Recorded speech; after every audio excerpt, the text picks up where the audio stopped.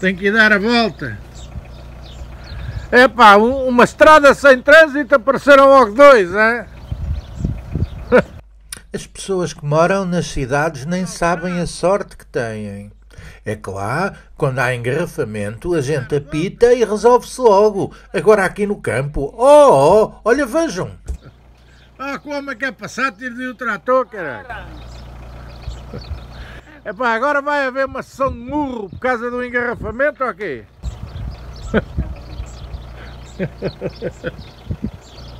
O gajo tem que parar, então o que é que eles querem? Para sentar na conversa, ele que espere.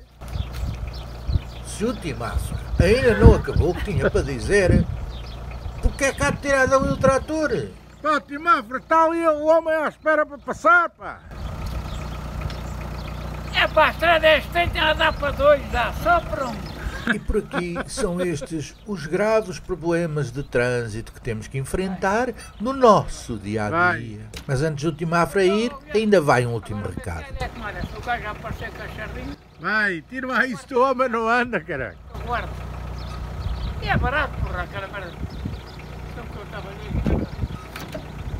E a, a, a, a sardinha era boa, mas mesmo boa. Calma! A vida não se. Como é que é? O Roma e Pavia não se fizeram num dia, nem meio-dia. Oh, ah, espera aí que ainda tenho mais um bocadinho para dar.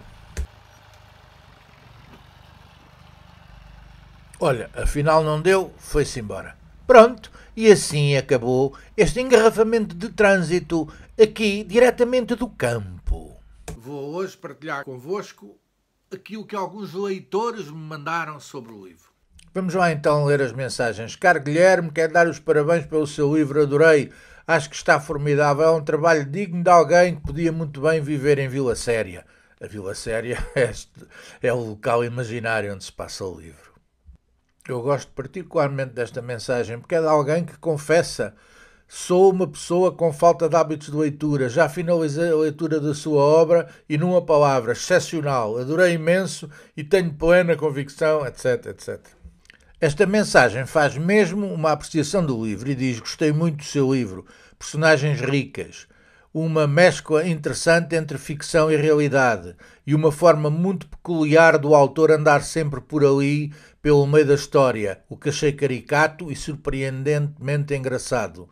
Não invejo a vida ao amigo Moraes, mas, no meio de uma vida bastante cinzenta, o Guilherme deu-lhe a mais bela cor que o humano pode ter, o amor.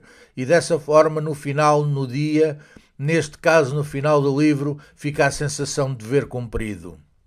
Para com a personagem. Parabéns e que venha o próximo livro. Quem quiser pode encomendar, vai parar a vossa casa a edição em papel, ou então por e-book, vai parar ao vosso computador, ou telemóvel, ou em reader, onde quiserem. As vendas pela internet agora são, são necessárias.